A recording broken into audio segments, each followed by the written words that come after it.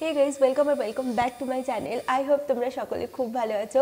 আমি যে খুব ভালো আছি সেটা তো বলতে পারব না, কারণ আমার গলার অবস্থা শুনে তোমরা বুঝতেই পারছ যে এখনও শরীরটা বেশ খারাপ আছে। হ্যাঁ মানে একটু গলাটা ধরা ধরা আছে এখনও বাট আমি ভাবলাম যে তোমাদের সাথে এই ভিডিওটা শেয়ার করেই দিই, কারণ অনেকটা দেরি হয়ে গেছে, অনেকটা লেট করে ফেলেছি। আবার মালদা থেকে মানে মেডিকেল কলেজ থেকে মেলও চলে এসছে, তো কিছুদিনের মধ্যে মালদায় শিফট হয়ে যেতে হবে। তো সেই জন্য এত কিছুর মধ্যে হয়তো এই ভিডিওটা চাপা পড়ে যেতে পারে। তো তাই ভাবলাম যে এই ভিডিওটা আগে তোমাদের সাথে শেয়ার করে দিই। তারপর বাকি যা ভিডিও আসবে সেগুলো তোমরা দেখতে থাকবে। সো আজকের ভিডিওটা হচ্ছে আমার নিট জার্নির ভিডিও তো এখানে আমি একটা কথা বলতে চাই মেবি এই ভিডিওর লেন্থটা কিন্তু একটু বড় হতে পারে, কারণ টু থেকে শুরু করে টু থাউজেন্ড এটা কিন্তু একটা লং জার্নি ছিল আমার, তো তাই ভিডিওর লেন্থটা একটু বড় হয়ে যেতে পারে। তো আই হোপ প্রত্যেকটা ইয়ার তোমাদের কিছু না কিছু শিখতে হেল্প করবে, যেমন প্রত্যেকটা ইয়ার আমাকে কিছু না কিছু শিখিয়েছে, তেমন প্রত্যেকটা ইয়ার আশা করি তোমাদেরও কিছু না কিছু শেখাবে। সো চলো উইদাউট এনি ফার্দার দিলে ভিডিওটা স্টার্ট করা যাক।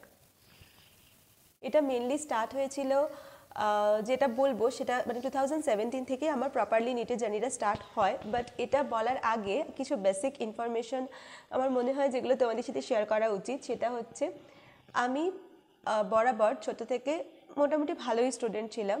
যখন হাই স্কুলে পড়তাম মানে ফাইভ টু টেন পড়েছি অলওয়েজ এক থেকে তিনের মধ্যে থাকতাম। আমার স্কুল ছিল রামকৃষ্ণ মিশন। তো ওখানে বেশ মোটামুটি ভালোই কম্পিটিশন ছিল। তো সেখানে এক থেকে তিনের মধ্যে বারবার থাকতাম। যখন এইচএসে যাই, ওখানেও মোটামুটি ভালো রেজাল্ট করতাম, এক থেকে তিনের মধ্যে থাকার চেষ্টা করতাম। তো এভাবে আমার এইচএসটা কমপ্লিট হয়। এখন যেমন এইচএস থেকেই আমরা নিটের প্রিপারেশন নিতে শুরু করি সকলে।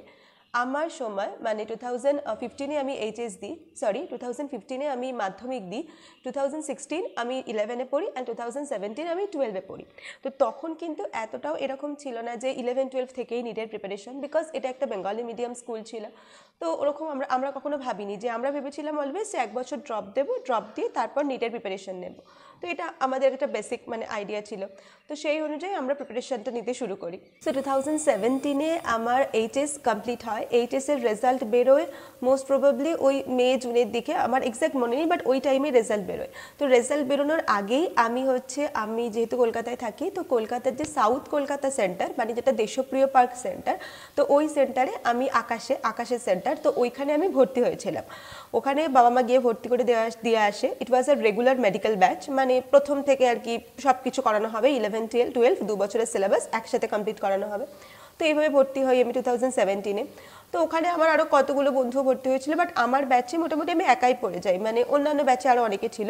তো আমার ব্যাচ ছিল এস আর এ ব্যাচ এবার আমরা বরাবর মানে জানি যে যত ভালো জায়গায় আমরা যাব ভর্তি হতে, যদি আগে ভর্তি হয় তাহলে আমাদের সেই অনুযায়ী বেটার টিচার দেওয়া হবে বা বেটার ফ্যাকাল্টিগুলো আমরা পাবো। বাট আমার ক্ষেত্রে জিনিসটা হলো সম্পূর্ণ উল্টো। এবং আমি পরে গিয়ে জানতে পারলাম যে এরকম ব্যাপার যে যারা প্রথম দিকে ভর্তি হয়, তারা সবাই ফ্রেশার্স হয়। তো তাদেরকে কখনোই ওই দ্য বেস্ট ফ্যাকাল্টি ওই ব্যাপারটা দেওয়া হয় না। তো আমি, এটা তো আগে থেকে জানতাম না। তাহলে শেষের দিকে ভর্তি হতাম। বছরের প্রথম দিকে ভর্তি হয়ে আমার ব্যাচ হলো এ এবং আমি ফ্যাকাল্টিগুলোও পেলাম ভীষণ বাজে। এবং যখন ক্লাস করাতে শুরু করলেন ওই সমস্ত ফ্যাকাল্টিরা, কেমিস্ট্রি ফ্যাকাল্টি মোটামুটি ঠিকঠাক ছিল, ফিজিক্স বা বায়ো ফ্যাকাল্টিতে ভীষণ প্রবলেম শুরু হলো। প্রবলেম শুরু হলো তার একটাই কারণ কারণ প্রথম কথা যেটা আমার পার্সোনাল প্রবলেম সেটা হচ্ছে আমি ইংলিশ অতটাও মানে অনর্গল যে একজন বলে যাবে ফ্লুয়েন্টে সেটা বুঝতে পারতাম না। কারণ বলেইছি তোমাদের আগে যে আমি বেঙ্গলি মিডিয়াম থেকে বিলং করি। তো সম্ভব ছিল না। তো সেটা নিয়ে একটা ফার্স্ট প্রবলেম ছিল ল্যাঙ্গুয়েজ প্রবলেম শুধু ল্যাঙ্গুয়েজ প্রবলেম হলেও না হয় মানতাম। কিন্তু ওখানে যাওয়ার সঙ্গে সঙ্গে এখন যেমন আমরা সবাই জানি যে আমাদের বলা হয় যে এনসিআরটি পড়তে হবে। ওখানে কেউ কখনো একবারও বলে না যে এনসিআরটি পড়তে হবে। আকাশ কখনো বলে না এনসিআরটি পড়তে হবে। ওরা যায়, হাতের মধ্যে ওই মডিউলসগুলো ধরিয়ে দেয়, প্রচুর প্রচুর প্রচুর মডিউলস এত মডিউলস আছে আমার। তো ওইগুলো ধরিয়ে দেয়। দিয়ে ওরা ওখান থেকে পড়ায় আর আমরা ওখান থেকেই পড়তে থাকি। ঠিক আছে? এইটা হচ্ছে মেন প্রবলেম তো এইরকম করে এবার কি হতো? প্রথম দিকে তো পড়তাম, যেতাম, কোনো অসুবিধা হতো না। বাট যত দিন যেতে লাগল, তত ব্যাকলগ এরকমভাবে জমতে শুরু করল। এবার তারপরে কি হলো? মানে আর পড়তে ইচ্ছা করল না। মানে আর কত পড়ব? মানে বিশাল ব্যাকলগ আর শুরু করল অ্যানিমেল কিংডম দিয়ে। অ্যানিমেল কিংডম বায়োলজির আর অ্যানিমেল কিংডম চলল হচ্ছে তোমার সেই তিন মাস ধরে ওই করতে করতে মানে বিশাল একটা বাজে অবস্থা।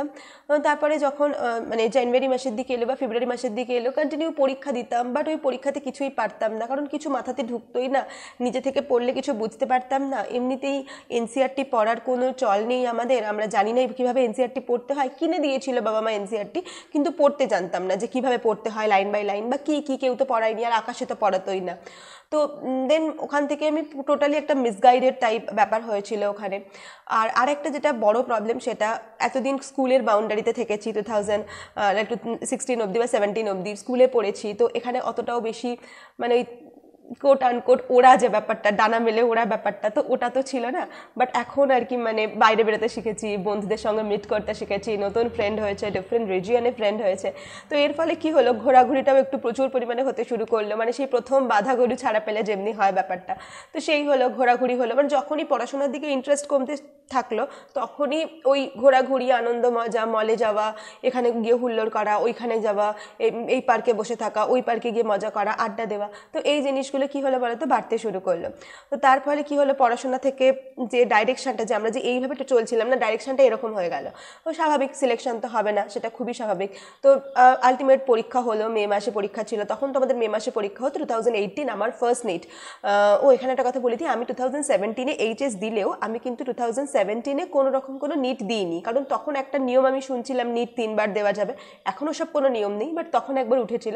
তো আমরা দিইনি। তো আমি দিইনি।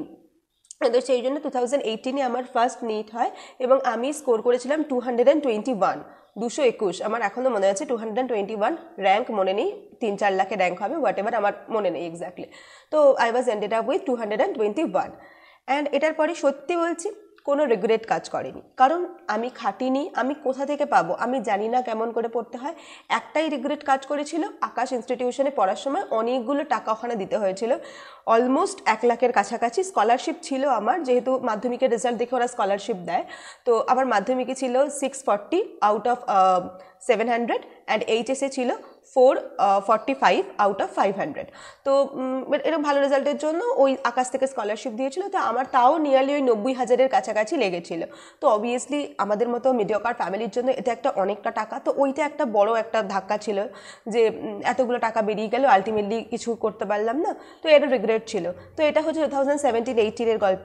এরপরে বুঝতে পারলাম সিলেকশন হবে না। বাড়িতে এসে বললাম বাবা মাকে যে হবে না সিলেকশন তো ওনারা কী বলল, কী করবি? তাহলে দেখ, অন্য কিছুতে অ্যাডমিশন নিবি।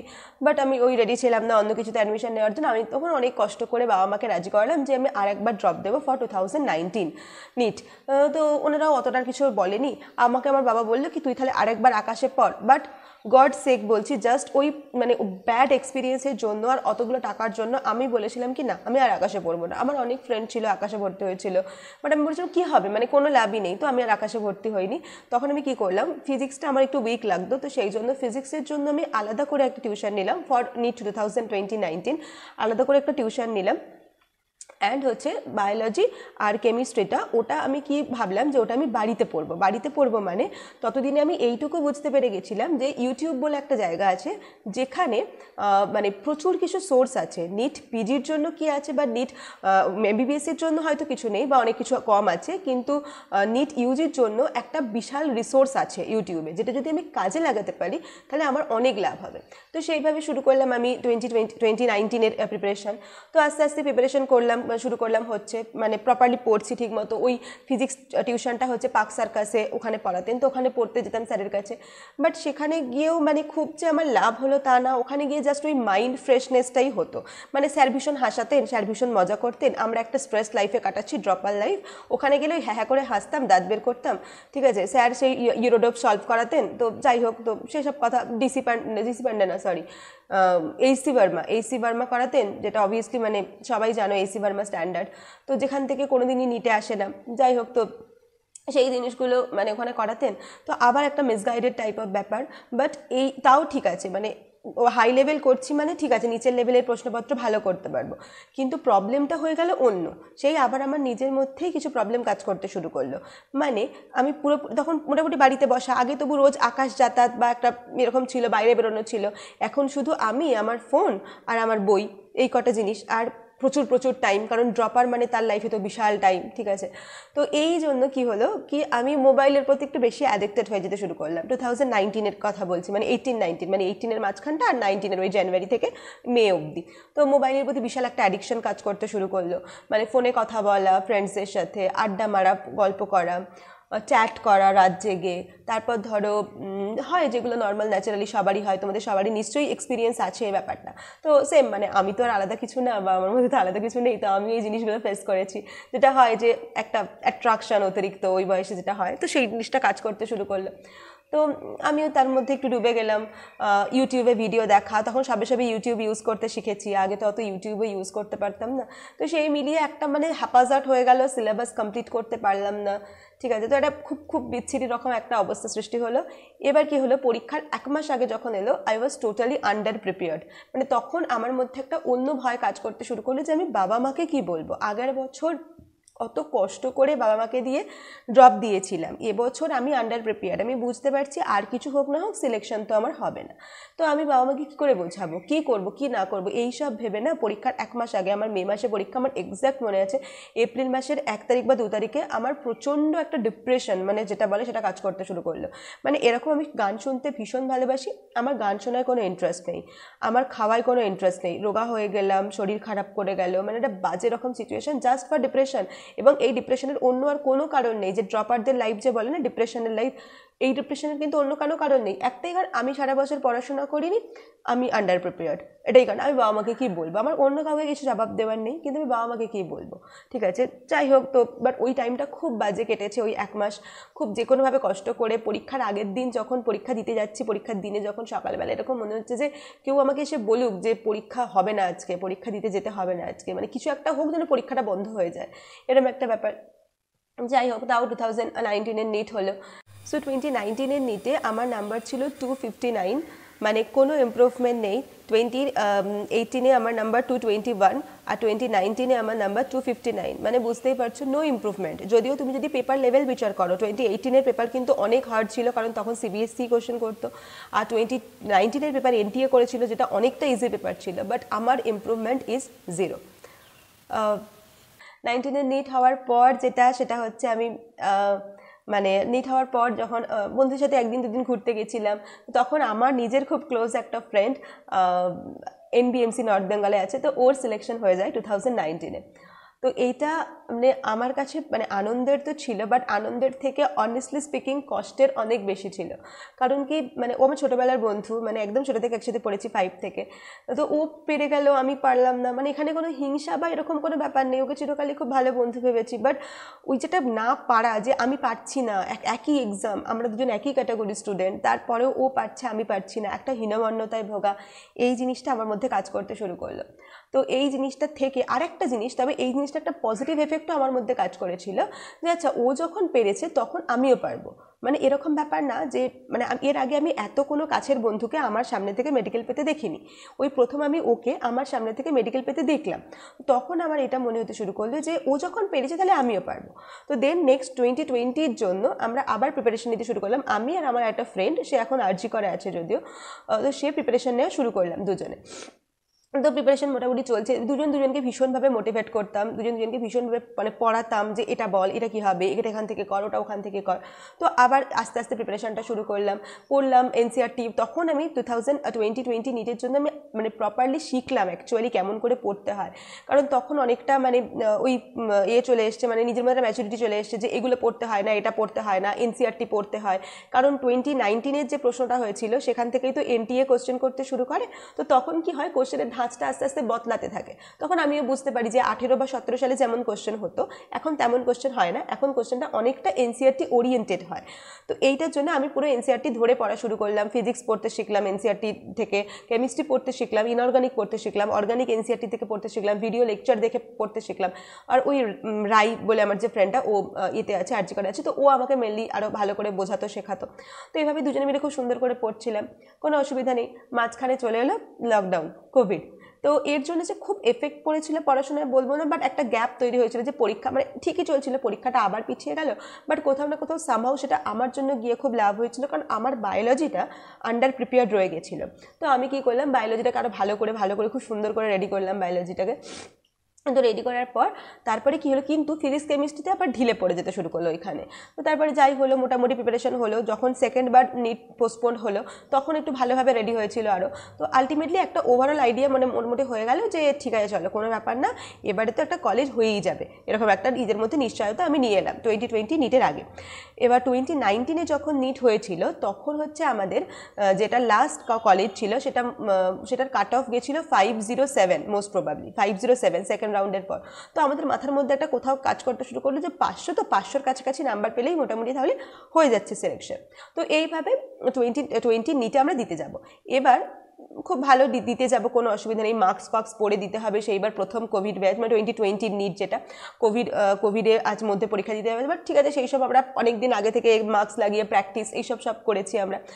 এবার পরীক্ষার আগের দিন রাত্রেবেলা আমার সঙ্গে যে ইনসিডেন্টটা ঘটে মানে worst incident in my life সেটা হচ্ছে আমার বাড়িতে চিকেন রান্না হয়েছিল এক্সামের আগের দিন। মানে আমার মোস্ট প্রবলি তেরোই সেপ্টেম্বর এক্সাম ছিল, বারোই সেপ্টেম্বর রাত্রেবেলায় চিকেন রান্না হয়েছিল। এবার আমি খেয়েছি সেটা। খেয়ে এবার একটা এক্সামের টেনশন তো আছে, আমাকে আমার প্রত্যেকটা বন্ধু মেডিকো নন মেডিকো ফ্রেন্ড সবাই যাদের সাথে আমি কন্ট্যাক্টে ছিলাম এক বছর, তারা সবাই আমাকে বলেছিল যে কিছু হোক না হোক এক্সামের আগের দিন রাত্রে তোকে পুরোপুরি ঘুমিয়ে যেতেই হবে। আদারওয়াইজ এক্সাম হলে কিন্তু ব্রেন কাজ করবে না। ঠিক আছে, এটা একটা স্ট্র্যাটেজির মধ্যেই পড়ে। বাট ওই যে আমি চিকেনটা খেলাম রাত্রেবেলা, ভাত আর চিকেন খেয়েছি শুলাম, আমি এগারোটায় শুয়ে গেছি। আমার রাত দুটো অবধি এক ফোঁটা ঘুম আসে না। শুয়ে আছি, কোনো অসুবিধা নেই, ঘুম আসে না। মে মাস মোটামুটি গরম তখন। না সরি সেপ্টেম্বর মাস মোটামুটি গরম তখন। গরম, একটু বর্ষাকাল ওয়েদার বাট গরমও ছিল মোটামুটি। তারপরে আমি দুটোর সময় মায়ের কাছে যাই। তো এসি চলছিল মায়েদের ঘরে। আমার মা বলে যে, তুই এসিতে শো, একটু হয়তো তোর কষ্ট হচ্ছে, গরম হচ্ছে, বা টেনশনের জন্য ঘুম হচ্ছে না। আমি এসিতে শুই। আমার চারটে, সাড়ে চারটে বেজে যায়, পাঁচটা বেজে যায়, তারপরেও আমার কিন্তু কোনো ঘুম আসে না। আমি জাস্ট ড্যাব ড্যাব করে চেয়ে আছি এবং এইটাই আমার মাথার মধ্যে কাজ করছে যে আমি তো ঘুমাতে পারছি না, তাহলে আমার পরীক্ষা কি হবে? মানে আমি কি করে দেবো পরীক্ষা? আমার তো ব্রেন কাজই করবে না। আমাকে তো বন্ধুরা বলেছে ব্রেন কাজ করবে না। তো কিন্তু আমার আলটিমেটলি ঘুম আসে না। সাড়ে পাঁচটার সময় আমি একটু জাস্ট ঘুমিয়ে মতো পড়েছিলাম। তখন সে বছর আবার আমার দমদমে সিট পড়েছিল। আমি তো পুরো সাউথে থাকি সাউথ কলকাতা, তো সেখান থেকে নর্থে যেতে যথেষ্ট মানে টাইম লাগবে। তো আমাকে তাড়াতাড়ি বেরিয়েও যেতে হয়েছিল দশটার দিকে। তো ঘুম হয়নি একদমই আটটা, সাড়ে আটটার ঘুম থেকে উঠি। যা হোক, ওই মানে কোনো বই খাতা কিছু দেখতে পারিনি বা কিছু দেখার সময় ছিল না। চলে যায় তাও মোটামুটি ফ্রেশই ছিলাম ততক্ষণ অবধি। পরীক্ষার হলে যাই, গিয়ে বসি। এক্সাম খাতা খুলি মানে কোশ্চেন পেপার খুলি। খোলার পর দেখি যে মোটামুটি বায়োলজি দিয়ে করতে শুরু করলাম। খুব ভালো পেপার ছিল বায়োলজি তো ভীষণ ভালো পরীক্ষা হয় আমার বায়োলজি অ্যাকচুয়ালি আমি নিট টোয়েন্টি টোয়েন্টিতে বায়োলজিতে পেয়েছিলাম থ্রি ফর্টি ফাইভ যেটা আমার লাইফে বায়োলজিতে হাইয়েস্ট মার্কস তো ওইটা পেয়েছিলাম। বাট প্রবলেমটা শুরু হয়, আমি নিজে বুঝতে পারিনি প্রবলেমটা শুরু হয় বাট পরে বুঝতে পারি যে কেমিস্ট্রি যখন আমি ধরি বায়োলজি শেষ করে যখন কেমিস্ট্রি ধরি টু থাউজেন্ড টোয়েন্টি টোয়েন্টির কথা বলছি, তখন কি হয়, আমার ব্রেন আর কাজ আর নেয় না। টোয়েন্টি কেমিস্ট্রি আর ফিজিক্স এই দুটোতে আমি এতটাই খারাপ রেজাল্ট করি, এতটাই খারাপ মানে এতটাই বাজে বাজে রেজাল্ট হয়।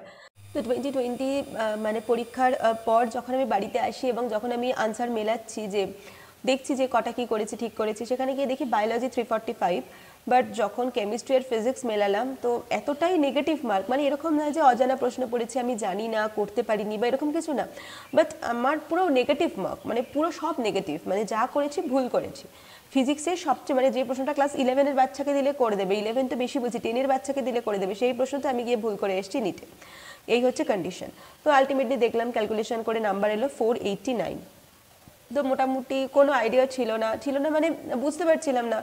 একটু একটু বুঝতে পারছিলাম যে বিডিএস পাবো হয়তো, কারণ আগের বারে পাঁচশো সাত গেছে, তো কিন্তু হঠাৎ করে যখন কাউন্সিলিংটা হলো, তো অবভিয়াসলি কোশ্চেন ইজি হয়েছে মানে কাউন্স কাট অফ তো বাড়বে।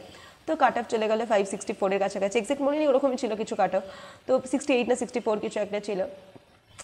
তো একটা ধাক্কা খেলাম বাট এটা আমি ভীষণ পজিটিভ মানুষ। তো ওই ধাক্কাটাকে আমি একটা ভীষণ পজিটিভলি নিলাম। মানে আমার মধ্যে তখনও বিশাল একটা এনার্জি কাজ করছিল যে হ্যাঁ ঠিক আছে মানে আমি পারব। আমি এখনও পারব নিজের নামের আগে ডক্টর বসাতে। এত সহজে হারটা আমি মানছি না। তো এই ব্যাপারটা আমার মধ্যে কাজ করে। এই পজিটিভিটিটা কাজ করার আরও যদি কিছু কারণ হয়, সেটা হচ্ছে আগের বারে আমি টু টোয়েন্টি ওয়ান পেয়েছি, তারপরে আমি টু ফিফটি নাইন পেয়েছি, এবারে আমি ফোর এইটটি নাইন পেয়েছি। তো আমার কাছে নিটের হিস্ট্রিতে এটা হচ্ছে সবচেয়ে বড় জাম্প মানে দেখো, এই যে টু টোয়েন্টি ওয়ান থেকে টু ফিফটি নাইন আমি কিচ্ছু খাটিনি। বাট এই টু ফিফটি নাইন থেকে ফোর এইটটি নাইন এই যে জাম্পটা, এটার জন্য সত্যি আমাকে বিশাল বিশাল খাটতে হয়েছিল। মানে ওই সময় দাঁড়িয়ে আমি যতটা দিতে পারতাম, হয়তো আমি ততটাই দিয়েছিলাম। Best the best from my side তো তাই জন্য ওটা হলো। তো তাই ফোর নাইন পেলাম। তো এইটা আমার কাছে একটা এনার্জি দিল। আর ওই আমার সাথে যে ফ্রেন্ডটা পড়াশোনা করতো she is ended up with six eighteen and ও এখন আছে RG Kar RG Kar medical college and hospital তো ওইটাও আমার কাছে একটা এনথুজিয়াজমের মতো কাজ করল, একটা মানে পজিটিভিটি কাজ করল যে এই তো আমার দুটো বন্ধু পেরেছে, আগের বছর একটা বন্ধু পেরেছে, এই বছর একটা বন্ধু পেরেছে, তাহলে আমি কেন পারব না? তো এই জিনিসটা নিজের মধ্যে কাজ করল। আমি এটাকে কখনো নেগেটিভলি নিই যে আমার ফ্রেন্ডসরা বেরিয়ে যাচ্ছে, আমি ওদের বিশাল কিছু হিংসা করব। অ্যান্ড আমি তোমাদেরও সাজেস্ট করব একদম না, এটা একদমই করা যাবে না। এই জিনিসটা একটা এমবিবিএস স্টুডেন্টের বা একটা মানে ডক্টর মেন্টালিটির মধ্যে পড়ে না যে আমি আমার কলিগকে হিংসা করছি। তো এই জিনিসটা খুব খুব বাজে জিনিস আমার পার্সোনাল মনে হয়। তো আমার কখনো কোনো রাগ কাজ করেনি ওদের ওপর, নিজের ওপর খারাপ লাগা কাজ করেছে যে ওরা পাচ্ছে, আমি কেন পাচ্ছি না? তাহলে ওদের মধ্যে এমন কী জিনিস আছে যেটা আমাকে নিজের মধ্যে নিয়ে আসতে হবে। দেন আমি ওই দুটো ফ্রেন্ডকে খুব ভালো করে অবজার্ভ করি আফটার নিট টোয়েন্টি টোয়েন্টি কারণ আমি বুঝতে পারি যে ওরা দুজন যখন সিলেকশন নিয়ে বেরিয়েছে, এমন কিছু তো আছে ওদের মধ্যে যেটা আমার মধ্যে নেই। দেন আমি ডিসকভার করি ওদের মধ্যে যেটা আছে সেটা হচ্ছে একটা কাম একটা কুলনেস যেটা আমার মধ্যে কম আছে। আমি ভীষণ চচ্চ চরবর চরবর করি, ভীষণ ছটপটে। হতে পারে, এটা যে কারোর মধ্যে থাকতেই পারে। কিন্তু যখন তুমি পড়াশোনা করছ, যখন তুমি পরীক্ষা দিচ্ছ, যখন তুমি একটা কম্পিটিটিভ এক্সাম দিচ্ছ অল ইন্ডিয়া লেভেলের কম্পিটিটিভ এক্সাম তখন তোমার নিজের মনটাকে কাম অ্যান্ড মানে কাম অ্যান্ড কোয়াইট যে ব্যাপারটা বলে, ওইটা করা খুব দরকার। তো সেই জন্য আমি, আমার ওই যে ফ্রেন্ডটা এনবিএমসিতে আছে, ওই আমাকে সাজেস্ট করে মেনলি যে, তুই মেডিটেশন কর, তোর ভীষণ চঞ্চল মন, তুই ভীষণ অস্থির হয়ে যাস, সব জিনিসে প্যানিক করে যাস জলদি, এটা করা যাবে না। তোকে মানে মেডিটেশন করতে হবে। দেন টোয়েন্টি টোয়েন্টির পর আমি টোয়েন্টি টোয়েন্টি ওয়ানের নিটের জন্য মেডিটেশন করা স্টার্ট করি।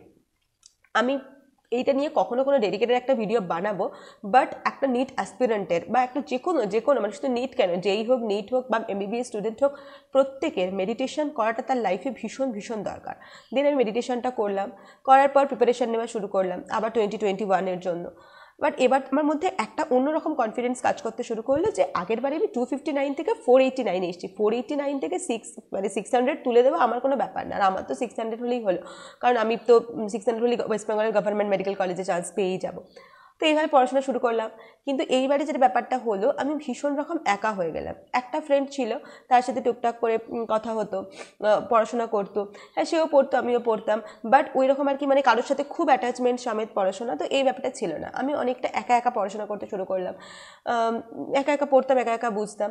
তার জন্য একটা গ্যাপ আমার মধ্যে তৈরি হলো, সেটা হচ্ছে আমি কিন্তু টোয়েন্টি টোয়েন্টি ওয়ানেও কোনো টিউশন নিইনি। মানে কুড়ি সালে আমার পুরো নিজের পড়া ছিল এবং একুশ সালটা আমি পুরো সেলফ স্টাডি ফুল সেলফ স্টাডির উপরে বেস করে পড়তে শুরু করলাম। এবার যে প্রবলেমটা হলো সেটা হচ্ছে, পড়লাম, কিন্তু আমি ভাবলাম টোয়েন্টি টোয়েন্টির কোশ্চেন দেখে যে কোশ্চেনটা এতটা ইজি এসছে। তাহলে নিশ্চয়ই টোয়েন্টি টোয়েন্টি ওয়ানের কোশ্চেনও ইজি আসবে। এটা আমার একটা মানে অদ্ভুত অ্যাজামশনস মানে আমি যে কী ভাবছিলাম কী ভেবে যে ওই সিদ্ধান্ত নিয়েছিলাম জানি না। তো আমি না অনেকটা নিজের লেভেলটাকে কমিয়ে নিলাম। নিজেকে একটা কমফোর্ট জোনে নিয়ে নিলাম। ঠিক আছে? এটা একটা খুব খুব ব্যাড হ্যাবিট যে নিজেকে কমফোর্ট জোনে রাখা। আমার যে প্রিপারেশনটা সেই প্রিপারেশন লেভেলটাকে আমি মানে একটা মানে এমনিতেই বায়োলজিতে থ্রি ফর্টি ফাইভ পেয়ে গেছি মানে বিশাল কিছু করে ফেলেছি। বায়োলজি কম পড়তে শুরু করলাম। ঠিক আছে? মানে অপেক্ষাকৃত কম। ফিজিক্স কেমিস্ট্রি খারাপ ছিল বলে ওটাকেও পড়তে লাগলাম। কিন্তু ওরও যে খুব হাই লেভেল কোশ্চেন আমি করছিলাম এরকম কিন্তু না। ওরও মোটামুটি লেভেলের কোশ্চেনগুলো করতে শুরু করলাম। তো কিন্তু ওটারও মানে হাই লেভেলের কোশ্চেন আমার করা উচিত ছিল। যেটা আমি করলাম না, কিন্তু যেটা আমার করা উচিত, ঠিক আছে? এটা একটা প্রবলেম টোয়েন্টি টোয়েন্টি ওয়ানের আর একটা যেটা প্রবলেম আমি ফেস করলাম, সেটা হচ্ছে আমার তো টু থাউজেন্ড সেভেন্টিনের ব্যাচ মানে টু সেভেন্টিন এইচএস তো আমার কাছে যে সমস্ত নোটসগুলো আমি বানিয়েছিলাম স্পেশালি বায়োলজি বলো বা ফিজিক্স বলো বা কেমিস্ট্রির বলো যেহেতু আমি সেলফ স্টাডি করছি, তার মানে আমার কাছে নিশ্চয়ই আগের কিছু নোটস বানানো আছে, সেগুলো দেখেই আমি সেলফ স্টাডি করছি। তো সেই নোটসগুলো না সিবিএসসি স্ট্যান্ডার্ড মানে সিবিএসসি যখন পরীক্ষা নিত নিট নিত, সে তখনকার। এখনকার নতুন মানে কিছু কিন্তু নেই। নতুন একটা প্যাটার্ন তো এসছে পেপারে তো একটা নতুন প্যাটার্ন এসছে তিন চার বছরে। সেই প্যাটার্নটাকেই আমি গ্র্যাব করতে পারিনি। আর নিজের একটা ল্যাক অফ নলেজ তো ছিলই, কারণ ল্যাক অফ নলেজ না থাকলে তো আর সিলেকশন আটকানো যায় না। আটকায় না মানে ল্যাক অফ নলেজের জন্যই অ্যাকচুয়ালি সিলেকশন আটকায়। তো দেন তাও এগুলো আস্তে আস্তে ডিসকভার করলাম, অনেকটা নিজেকে মানে মেকআপ করার চেষ্টা করলাম। মেকআপ করার চেষ্টা করলে, করার পরেও এবং ওই যে জিনিসটা খেয়াল রাখলাম, এবারে যেন আগের দিন রাত্রেবেলা কোনো রিচ খাবার খাব না, যাতে প্রপারলি ঘুমাতে পারি। সব কিছু করলাম সব কিছু করার পর টোয়েন্টি টোয়েন্টি ওয়ানের এক্সাম দিতে গেলাম। মোটামুটি সারা বছর ভালোভাবে প্রিপেয়ার করেছিলাম। বা টোয়েন্টি টোয়েন্টি এক্সাম দিয়ে যখন এলাম, এসে বাড়িতে ক্যালকুলেশন করলাম, তো ফাইভ এইটির কাছাকাছি নাম্বার আসছিল। আমি বুঝতে পারলাম যে ফাইভ এইটির কাছাকাছি নাম্বার আসছে, তারপরে তো সিলেকশন হয়েই যাবে। বিশাল একটা আনন্দ, বিশাল একটা হই হুল্লো লাফালাফি, পড়াশোনা, পুরো বন্ধ, বই খাতা বেঁধে দিয়েছি, তোলা হয়নি, বেঁধে দিয়েছি। সব হলো। ও সেই বছর, এই বছর আবার আমি মানে বিএসসি নার্সিংয়ের এক্সামও দিয়েছিলাম টোয়েন্টি ওয়ানে মা বলেছিল জোর করে বিএসসি নার্সিং বিএসসি নার্সিংয়ের রেজাল্ট বেরোয় নিটের রেজাল্ট বেরোনো কিছুদিন আগে। অ্যান্ড আমার কাউন্সিলিংয়ে এনআরএসে এনআরএস মেডিকেল কলেজ যেটা, ওইখানে আর কি নাম আসে। এক নম্বরে নাম ছিল মোস্ট প্রবলি হ্যাঁ এক নম্বরে নাম ছিল এনআরএসে তো ওইখানে আমার নাম আসে। তো ওইখানে নাম আসার পর আমি ভাবলাম যে, মা বলছে, কি, তুই কী করবি বল? ভর্তি হয়ে যাবি? নিটের তো রেজাল্ট এখনও বেরোয়নি। আমি তখন একটা কথা বলেছিলাম, তোমার কি আমার উপর একটুও ভরসা নেই? আমি ভর্তি হব না। আমি ডাক্তারিতে তো চান্স পেয়েই যাচ্ছি তো আমি ভর্তি হব না।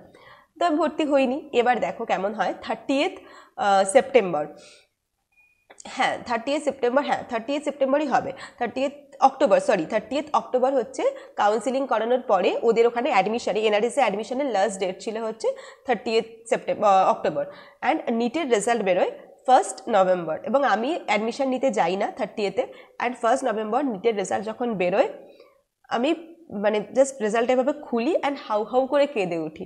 কারণ কি, আমি রেজাল্ট করেছি five forty nine with all India rank forty seven thousand মানে এইটুকু আইডিয়াটা তখন আমার আছে যে ফর্টি সেভেন থাউজেন্ডে আমি আর যাই হোক মানে কিচ্ছু করতে পারব না, কিচ্ছু না। মানে বিডিএসও আমাকে কেউ দয়া করে দেবে না, এরকম একটা ব্যাপার।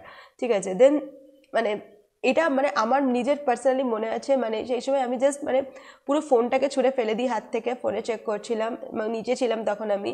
জাস্ট দৌড়ে মানে আমি উপরে চলে আসছি কি আমি আর মানে রাখব না জীবন, আমি মানে সুইসাইড একটা টেন্ডেন্সি নিজের মধ্যে চলে আসি যে আমি কী করলাম এটা মানে ইট ওয়াজ মাই লাস্ট অ্যাটেম্প মানে আমি এটা কী করলাম? অ্যান্ড হাউ হাউ করে কাঁদছি অ্যান্ড ওপরে চলে আসছি মানে এরকম যে এখান থেকে ঝাপ, ছাদ থেকে ঝাঁপ দিয়ে মরে যাব এরকম একটা কিছু। খুব খুব খুব একটা বাজে সিচুয়েশনের মধ্যে দিয়ে আমি গেছি, একটা বাজে suicidal thought suicidal suicidal tendency and ওই সময় একটা এত বাজে টাইম গেছে না মানে আমি তোমাদের জাস্ট বলে বোঝাতে পারব না, ওই, ওইটা হলো দেন বাবা বাড়িতে আসে রাত্রেবেলা, মা পুরো আমাকে মানে জড়িয়ে ধরে বসছিল সারা মানে সারাক্ষণ সন্ধ্যাবেলা রেজাল্ট দেখতে পাই আমি সাতটার সময়, সবাই ফোন করছে, সবাই জিজ্ঞাসা করছে, আমি জাস্ট ফোনটাকে তখন সুইচ অফ করে দিই, বাবা বাড়িতে আসে, বাবা বাড়িতে আসার পর বলে, শোনে কি হয়, আর সত্যি কথা বলছি, আমার বাবা মা কখনো মানে আমাকে বলিনি যে তুই এটা করিস না, ওটা করিস না, এত বছর কেন ড্রপ দিচ্ছিস, কেন মেডিকেলের জন্য? হ্যাঁ মানে হয়তো পড়াশোনা না করলে অনেকবার বকেছে ইয়ে করেছে। কিন্তু কখনো বলিনি যে তোর অন্য কিছু করে নে। হ্যাঁ হয়তো রাগ করে অনেকবার বলেছে, কিন্তু ওরাও চাইতো যে ওদের মেয়ে ডাক্তার হোক। তো এই জিনিসটা। তো আর ভীষণভাবে আমাকে মানে আঁকলে ধরেছিল। বাপিও কিছু বলেনি এবং সেই দিনকে আমাকে বাবা মা, বাবা মার কাছে নিয়ে গিয়ে শুয়েছিল যাতে আমি কিছু রাত্রেবেলা ভুলভাল কিছু করে না ফেলি। বাট ওই ফেজটা মানে আমার লাইফে সবচেয়ে বাজে ফেস গেছে। মানে এত বাজে ফেস আমি কখনো কাটাইনি। কারণ আমি এটা মনে হচ্ছিল যে, আমি টোয়েন্টি টোয়েন্টি ওয়ানের নিটের জন্য সব কিছু করে দিয়েছি। মানে এরকম কিছু নেই যেটা বাকি আছে করার। মানে আমার আর কিছু করার নেই। আমি সব করে দিয়েছি, সব। আমি আমি আমার সবচেয়ে বেস্টটা দিয়ে দিয়েছি। এরপরেও যখন হচ্ছে না, আমার তাহলে আর হবে না। মানে আমি সারা রাত শুধু এটাই ভেবেছি যে আমার আর হবে না। আমি কি করব? আমি আমি তো নার্সিংটাও ছেড়ে দিলাম। আমি কিছুই করলাম না। আগেও একবার নার্সিংয়ে চান্স পেয়েছিলাম টু থাউজেন্ড নাইনটিনে।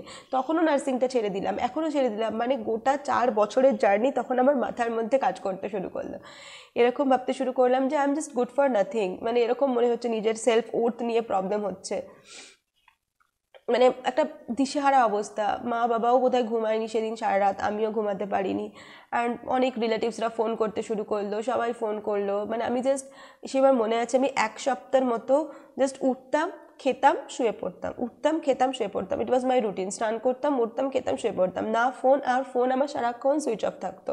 কারোর সাথে কথা বলতাম না। আমার নিজের ক্লোজ ফ্রেন্ড অনেক, অনেকে আমার সাথে অনেকবার কন্ট্যাক্ট করার চেষ্টা করেছে বাট কেউ মানে আমি কাউকে আমার সাথে কন্ট্যাক্ট করতে দিইনি।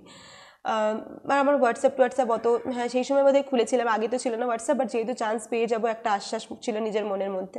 তো সেই সময় হোয়াটসঅ্যাপটা খুলেছিলাম হোয়াটসঅ্যাপটা সঙ্গে সঙ্গে লগ আউট করে দিই। তো এটাই আর কি মানে খুব খুব বাজে ফেজ মানে এত বাজে ফেজ আমার লাইফে আমি কখনো দেখিনি। তারপরে আস্তে আস্তে সামনে কালী পুজো আসে, বোধহয় কিছুদিনের মধ্যেই কালী পুজো ছিল। তো কোনো বেরোয়নি, কোনো আনন্দ নেই, কিছু নেই। আমার একটা ফ্রেন্ড আমাকে তারপর বলে যে, তুই একটা কাজ কর যে, তুই ফিজিক্সওয়ালা স্যারের সাবস্ক্রিপশন নে, নিয়ে ফিজিক্সওয়ালা থেকে পড়, পড়াশোনা আবার শুরু কর, পড়তে তো হবেই। বাট আমার মন মানছে না। আমার ওই ফোর ফাইভ ফর্টি নাইনে মোস্ট প্রবাবলি এনবিএমসিতে বিডিএস এসে যাওয়ার একটা চান্স ছিল। তো আমি অনেক বন্ধুদের সঙ্গে ডিসকাস করি। তো ওরা সবাই আমাকে বলে, তুই বিডিএসে চলে আয়, তুই আর দেখিস না। তুই মানে তোর হচ্ছে না যখন এতদিন আর হয়তো হবে না। নিজের মধ্যে ওই কনফিডেন্সটা কোথাও না কোথাও হারিয়ে যায়। মানে আর মনে হচ্ছিল যে আর পারব না, আর সম্ভব না। এত কিছু তো করে নিয়েছি, আর কি করে সম্ভব? তারপরে আস্তে আস্তে নিজেকে অনেকটা বোঝাই, নিজেকে অনেকটা মনকে শক্ত করি যে দেখ দেবলি, না এই দিকে তো তোর হচ্ছে না, তুই অন্য কিছু কর, নিশ্চয়ই তোর সাকসেস অন্য কোথাও লেখা আছে ডক্টর আর তোর নামের লাগে লাগানো হবে না।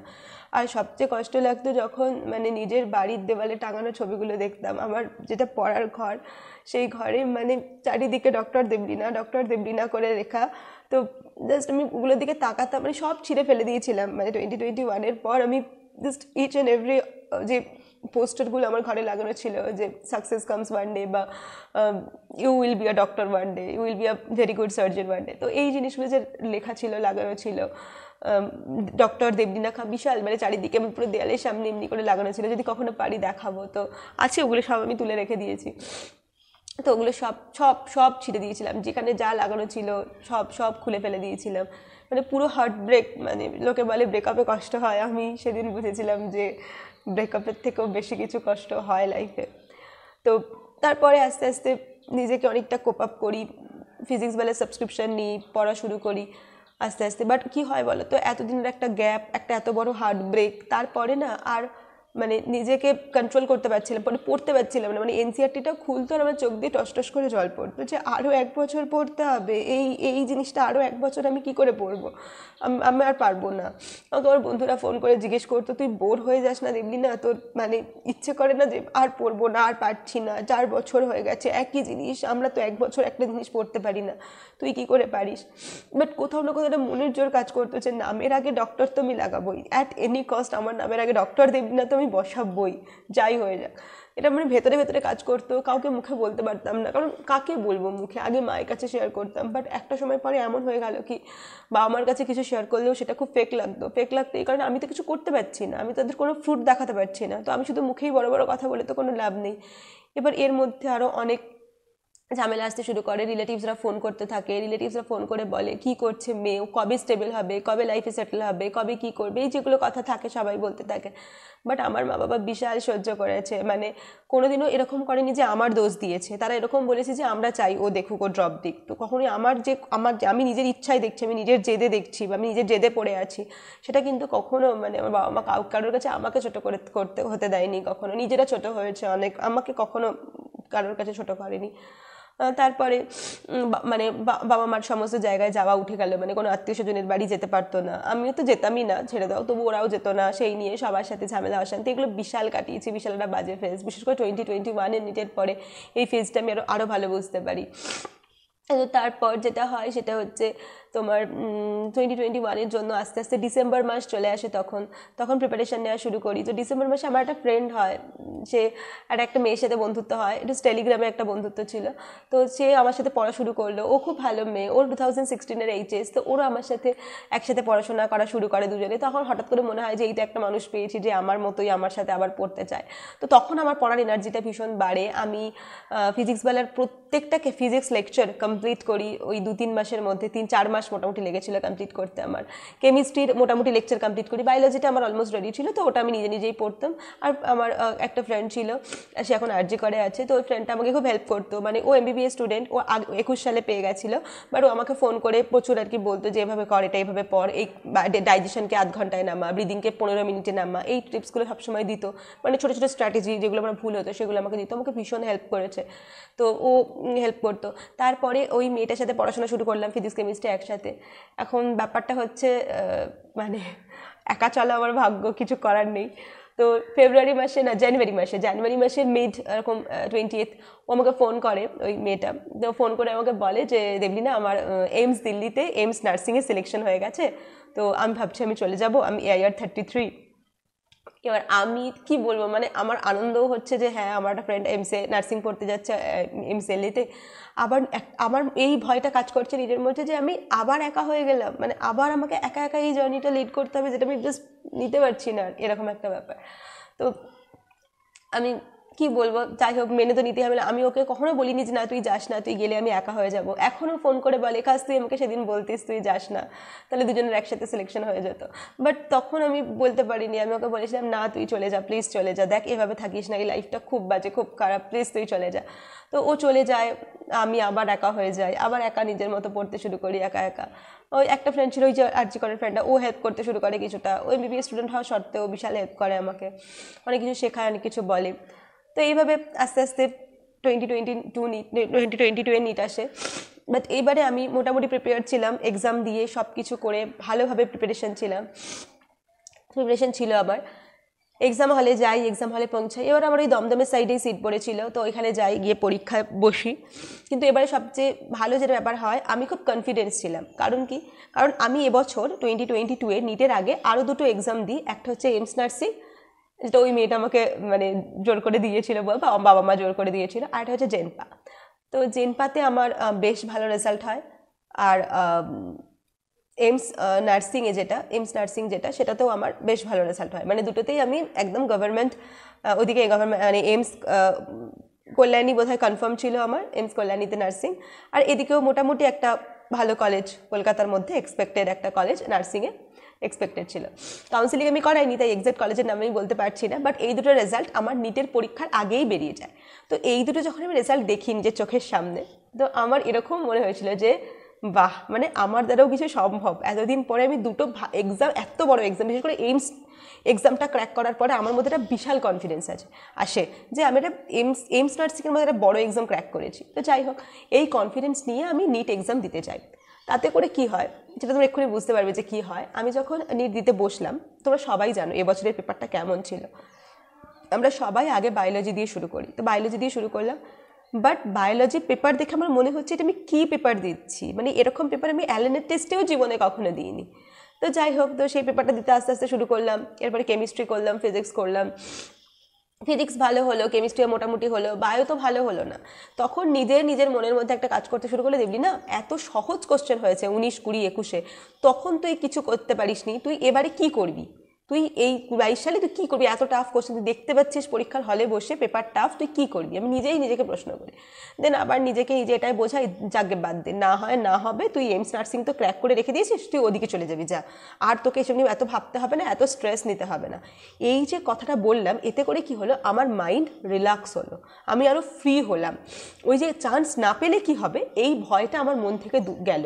যেটা আমি নিজে শিখলাম আবার যে, তোমরাও শেখো এটা থেকে যে এক্সাম হলে বসে ওই তিন ঘন্টায় নিজেকে কাম অ্যান্ড কুল রাখা খুব খুব খুব দরকার। ওই ইনস্ট্যান্ট মোমেন্টে যদি আমি নিজেকে কাম অ্যান্ড কুল করে না নিতে পারতাম না, আমার চার পাঁচটা প্রশ্ন এমনিই ভুল হয়ে যেত, আমি আউট অফ সিলেকশন হয়ে যেতাম। এটা আমি নিজে শিখলাম।